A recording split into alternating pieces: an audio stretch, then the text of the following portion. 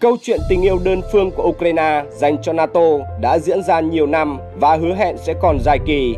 Ngày 8 tháng 4, Đại sứ Ukraine tại Thổ Nhĩ Kỳ Vasily Boda một lần nữa đặt ra câu hỏi về ngày cụ thể để Ukraine gia nhập liên minh, mặc dù ông đã tỏ ra dè dặt.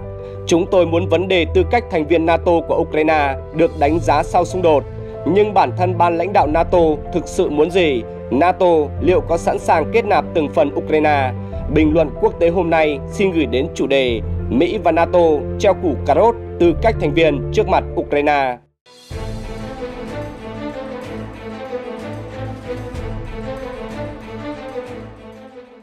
Ý định của NATO được thể hiện khá rõ ràng từ kết quả cuộc họp kéo dài 2 ngày của Ngoại trưởng các nước thành viên liên minh được tổ chức vào tuần trước, cùng tham dự có các đại biểu từ Nhật Bản, Hàn Quốc, Australia, New Zealand và Liên minh châu Âu. Cuộc họp này nằm trong khuôn khổ kỷ niệm 75 năm ngày thành lập NATO. Liên minh quân sự ban đầu được thành lập để chống lại nước Nga Xô Viết. Lịch sử hậu chiến tranh lạnh đã cho thấy đến nay NATO vẫn đã và đang thực hiện sứ mệnh của mình, ngăn chặn, thậm chí là hủy diệt Nga và không chỉ ở châu Âu. Điều này đã được Tổng thư ký NATO Jens Stoltenberg công khai bày tỏ rằng vì vậy, ý tưởng cho rằng chúng ta có một nền an ninh ở châu Âu và một nền an ninh khác ở châu Á không có tác dụng. An ninh của chúng ta không phải là an ninh khu vực, an ninh của chúng ta có tính chất toàn cầu. Mặc dù ông nói thêm rằng không có cuộc thảo luận nào về việc biến NATO thành một liên minh toàn cầu, nhưng tình hình trên bàn cờ lớn lại cho thấy điều ngược lại. Và NATO đã cam kết gì với Ukraine? Không phải ngẫu nhiên mà vào ngày 3 tháng 4, Tổng thư ký NATO Jens Stoltenberg lại lên tiếng về thực tế rằng sớm hay muộn, quốc gia do Tổng thống Zelensky lãnh đạo sẽ trở thành thành viên NATO. Điều đáng ngạc nhiên là theo Tổng thư ký Stoltenberg, NATO không phải là một bên trong cuộc xung đột ở Ukraine. Hơn nữa, liên minh không có kế hoạch mang quân và đóng bất kỳ đơn vị chiến đấu nào của NATO trên lãnh thổ Ukraine. Vào thời điểm Tổng thống Pháp Emmanuel Macron, người đứng đầu một cường quốc thành viên NATO khá hùng mạnh về mặt quân sự, xem xét nghiêm túc khả năng gửi quân đến Ukraine, ông Macron chưa kể đến sự hỗ trợ chưa từng có của NATO cung cấp cho Ukraine như Tổng thư ký đã từng khẳng định. Tuy nhiên, sẽ còn quá sớm để khẳng định về đúng sai trong tuyên bố của ông Stoltenberg. Về mặt pháp lý, ít nhất hiện NATO không tham gia vào cuộc xung đột và thậm chí việc Pháp đề nghị gửi quân đội đến Ukraine có thể được hiểu là hành động có chủ quyền của riêng Pháp. Điều này được lý giải bởi có sự khác biệt chính thức giữa lực lượng vũ trang của NATO và các nước thành viên. Trên thực tế, như giới chức Nga nhiều lần khẳng định chắc nịch, NATO tham gia vào cuộc xung đột ở Ukraine cũng đồng nghĩa với việc liên minh này phải chịu hoàn toàn trách nhiệm về những thiệt hại gây ra cho Nga. Câu trả lời cho câu hỏi nhức nhối nhất liệu Ukraine có được chấp nhận vào NATO. Viễn cảnh này lại một lần nữa được Ngoại trưởng Mỹ Antony Blinken lên tiếng hôm 8 tháng 4 năm 2024 vừa qua. Ông Blinken nói rằng một ngày nào đó Ukraine sẽ gia nhập NATO và hội nghị thượng đỉnh NATO tại Washington vào tháng 7 năm 2024 sẽ làm rõ vai trò của khối quân sự này trong việc hỗ trợ Ukraine về lâu dài. Một mặt, Ngoại trưởng Mỹ Antony Blinken khẳng định Ukraine sớm muộn cũng gia nhập NATO. Mặt khác, không ai cho biết tương lai này sẽ xa đến mức nào. Hơn nữa, tờ New York Times đưa tin rằng Ukraine sẽ không được mời tham gia NATO tại hội nghị thượng đỉnh tháng 7 ở Washington vì không ai khác, chính Đức và Mỹ phản đối điều này.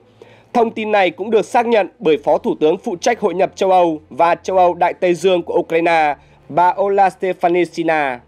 Tuy nhiên, giới chuyên gia cho rằng những lời cam kết của Ngoại trưởng Mỹ Blinken thật vô nghĩa. Thậm chí, Washington đang tàn nhẫn khi đưa ra những lời hứa hão huyền với Kiev, dù biết rằng nó sẽ không bao giờ được thực hiện. Cuối cùng, điều này sẽ dẫn đến sự biến mất của Ukraine với tư cách một nhà nước. Khi nói rằng một ngày nào đó Ukraine sẽ gia nhập NATO, Ngoại trưởng Blinken biết rõ lời hứa của mình là không thể giữ được và các đồng minh châu Âu biết rằng điều này sẽ không bao giờ xảy ra. Hầu hết người Mỹ không quan tâm đến Ukraine hoặc tích cực phản đối việc nước này tiếp tục tham gia vào các vấn đề châu Âu. Các thượng nghị sĩ Đảng Cộng Hòa ngay lập tức phản ứng gay gắt. Thượng nghị sĩ Ohio G.D. Vance viết trên mạng xã hội X, đây là một tuyên bố hoàn toàn vô trách nhiệm. Ukraine không nên gia nhập NATO và mời họ đến đó giữa lúc xung đột quân sự cũng giống như kéo đất nước chúng ta vào đó. Bạn muốn nhìn thấy người Mỹ trở thành đội quân ở Ukraine. Nếu không thì chúng ta phải phản đối ý tưởng Ukraine trở thành thành viên NATO. Đồng quan điểm này, Thượng nghị sĩ Miley viết trên Twitter, NATO có thể có Ukraine hoặc có Mỹ, nhưng không phải là có cả hai. Thậm chí, Bộ trưởng Quốc phòng Lloyd Austin hôm 9 tháng 4 tại phiên điều trần trước Ủy ban Quân sự Thượng viện thừa nhận việc Ukraine trở thành thành viên NATO đi ngược lại lợi ích quốc gia của Nga. Ông Austin nói, chắc chắn nếu tôi là Nga, tôi sẽ không muốn điều đó. Ukraine trở thành thành viên NATO. Tôi cũng không muốn Phần Lan và Thụy Điển trở thành một phần của NATO. Phát ngôn của Ngoại trưởng Mỹ được xem là một cử chỉ hết sức diễu cợt nhằm treo củ cà rốt của NATO trước mặt Ukraine.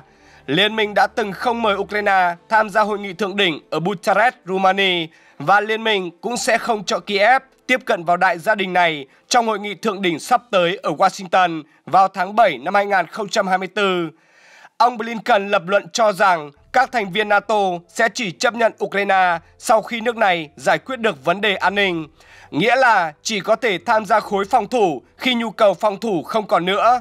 Đối với bất kỳ người tỉnh táo nào, điều này nghe có vẻ vô lý vì nó có nghĩa là vấn đề an ninh Ukraine sẽ không bao giờ được giải quyết và xung đột sẽ đóng băng. Hơn nữa, nếu NATO không mạo hiểm mời Ukraine đến dự hội nghị thượng đỉnh ở Washington, điều đó có thể được hiểu là giới lãnh đạo liên minh sợ các đòn trả đũa của Nga. Tuy nhiên, theo giọng điệu truyền thống của phương Tây thì quyết định đó gần như đồng nghĩa với việc tôn trọng Moscow. Điểm đáng chú ý nhất, Mỹ, quốc gia lãnh đạo chủ chốt của NATO, đồng minh lớn nhất của Ukraine, lại là bên phản đối mời Kiev đến hội nghị. Tuy nhiên, sự thận trọng của NATO không nên xem là điểm yếu và không nên nhầm lẫn việc tiêu chuẩn kép là thiếu chủ ý. Tất nhiên, việc kết nạp Ukraine vào NATO theo hình thức hiện tại đồng nghĩa với việc gây ra cuộc chiến tranh lớn nhất ở châu Âu kể từ năm 1945. Hơn nữa, theo hiến trương NATO, một quốc gia có tranh chấp lãnh thổ sẽ không được chấp nhận gia nhập liên minh, nhưng hiện đã có lộ trình được đề ra. Theo đó, Ukraine có thể được chấp nhận vào NATO sau khi nhượng bộ về mặt pháp lý đối với tất cả các vùng lãnh thổ do Nga kiểm soát ở thời điểm hiện tại. Điều này đã được ấn phẩm La Repubblica của Italy đưa tin vào ngày 5 tháng 4 năm 2024. Nó được xem như một kế hoạch ngầm của Mỹ có thể được sử dụng nếu ông Joe Biden thất bại trong cuộc bầu cử sắp tới và sự trỗi dậy ngay sau đó của ông Donald Trump dường như là điều không thể tránh khỏi. Với châu Âu nói riêng, NATO nói chung, để đổi lấy an ninh, một thỏa thuận chấm dứt xung đột đồng nghĩa với việc Ukraine nhượng bộ lãnh thổ bởi hai lý do. Đầu tiên, việc trao đổi nhượng bộ lãnh thổ đổi lấy an ninh được nhiều chuyên gia coi là một trong những giải pháp khả thi để chấm dứt xung đột. Hiện tại, ý tưởng này chưa nhận được những cái gật đầu chính trị chính thức, nhưng trên thực tế, nó đã nằm trong chương trình nghị sự của nhiều cuộc thảo luận. Lý do thứ hai, cụ thể hơn, nhiều chính phủ châu Âu và chính Nhà Trắng lo ngại rằng đây có thể là con át chủ bài của ông Donald Trump nếu ông ấy chiến thắng trong cuộc bầu cử vào tháng 11 tới. Cựu Tổng thống Mỹ nhiều lần cam kết nếu trở lại vị trí Tổng tư lệnh, ông sẽ chấm dứt cuộc đối đầu giữa Moscow và Kiev chỉ trong trước mắt. Và đây chính xác sẽ là động thái cho phép ông Trump đảm nhận vai trò kẻ thống trị thế giới.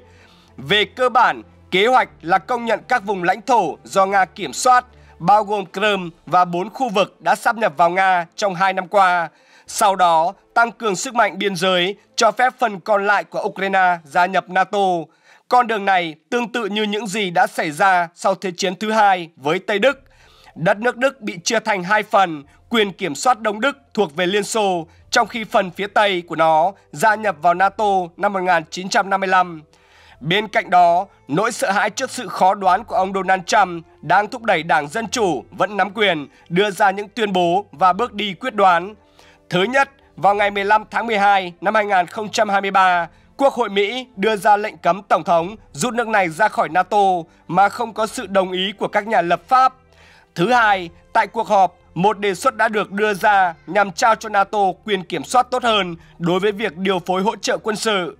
Cuối cùng, đã có cuộc thảo luận về việc cung cấp hỗ trợ trị giá 100 tỷ USD cho Ukraine trong 5 năm. Trong đó, Mỹ chỉ nên đóng góp 16 tỷ USD. Như vậy, có thể thấy rõ một chiến lược hoàn toàn hợp lý của giới lãnh đạo Mỹ hiện tại.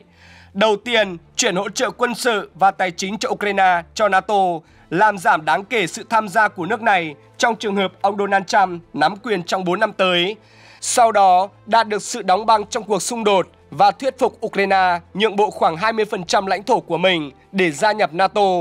Sau đó, theo logic của sự xuất hiện và tồn tại của liên minh, một lần nữa lôi Nga vào cuộc chiến nhưng với những điều kiện bất lợi hơn nhiều cho nước này.